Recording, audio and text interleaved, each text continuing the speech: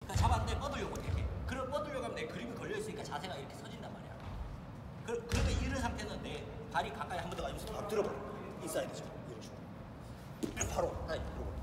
그러니까 여기서는 이제 깨끗이 들렸으니까 내가 뭐 앞으로 뻗던 뒤로 뻗던 지난번 영상에서 보여줬던 거는 잡고 내가 일어났을 때 상황인데 실전에서 레슬링 샵이나 이런 실전에서는 일어나는 게 엄청 힘들어. 내가 들어가 잡았어 앉았어. 상대 스포라를 이런 식으로. 여기서 이제 시작이라고 거의 대부분. 너는 다 잡고 그립을 이렇게 잡고 여기서 머리 쳐갖고 아, 아 이걸 막 당겨요. 여기서 이렇게 힘을 다 뺀다는 거지. 거의 대부분. 근데 힘이 약한 사람들은 여기 못 당겨. 그러니까 이 손을 그냥 바닥에 짚고 다리가 나가면서 오히려 상대방 쪽으로 이렇게 따라가는 거지. 이 손만 걸어. 그러니까 상대가 스포라를 쳐. 그럼 이 손 걸어놓고 이 손이 이 손이 그냥 바닥 이렇게 따라가면서 일어나는 거지. 그러니까 걸어놓고 따라가면서 일어나. 스프롤을 완전히 계속 한, 한쪽 방향으로 한다. 상대방이 이쪽만 눌러준다. 잡은 다리. 그럼 그러면서 바로 나가면서 다리가 나가 이쪽으로 나가. 앉아. 머리는 상대방 방향. 이렇게 빨리 빨리.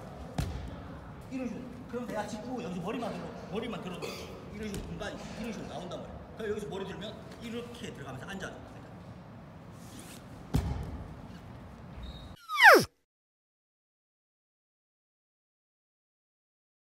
내가 이렇게 일어났는데 상대방이 이제 머리가 이렇게 내가 사니까 머리를 죽여주려고 반대로 눌러주면서 반대로 눌러. 그러면 여기서는 내 머리가 어떻게 나와? 이쪽으로 빠져. 반대로. 여기 상대방이 밀어주니까 내 상대방 머리를 이쪽 방향으로 밀어주니까 식으로. 이게 소야트가 식으로 했는데 나는 좀 쓰는 방식이 좀 다르다. 자 다시 여기서 반대로 밀어주면 나 같은 밀어주는 힘에 바로 바로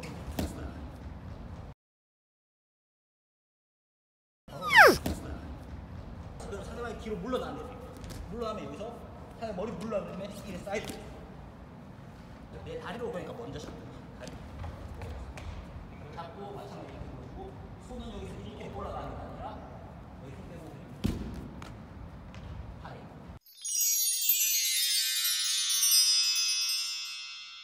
살아서 짚고 사이드로 거. 다리. 셋. 이렇게 돌리는데 얘가 힘이 좋으면 또 꽉 끼고 있으면 안 빠지는 경우가 있어. 여기서 내가 자, 일어나서 잡았어. 그래 돌려내려고 하는데 꽉 잡고 팔안 빠져. 안 빠지, 안 빠지. 그럼 다리.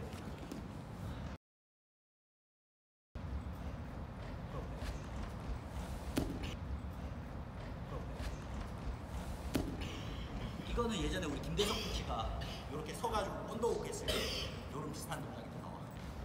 여기 준비 이러고 그러니까 상당히 스프를 빨라가지고 내가 찍어줬어. 준비 시작. 그럼 손 짚고 빨리 일어나. 손 짚고 마찬가지. 그립 잡고. 그러니까 따라. 다시. 연습해. 이렇게 허리를 힘으로, 힘으로 못 일어난다. 허리. 그러니까 짚고 받쳐주고 일어나. 내 팔로. 내 체중을 밀어 힘을 써주라는 거지.